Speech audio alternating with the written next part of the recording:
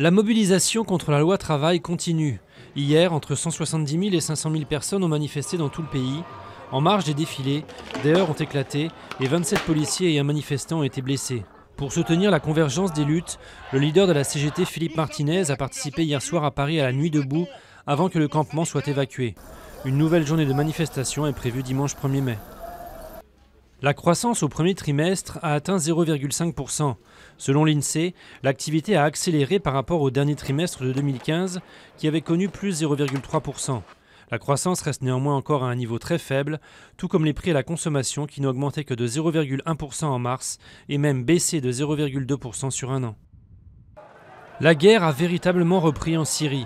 Le régime prépare une offensive pour reconquérir Alep et sa province qui lui échappe depuis 4 ans.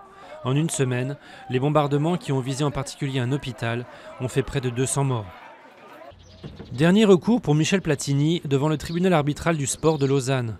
L'ex numéro 10, arrivé tôt ce matin, conteste sa suspension pour 6 ans de toute activité liée au football.